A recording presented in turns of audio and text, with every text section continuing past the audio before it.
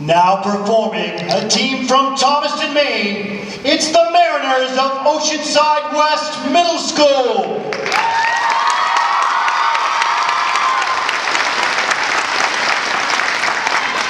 Bullshit.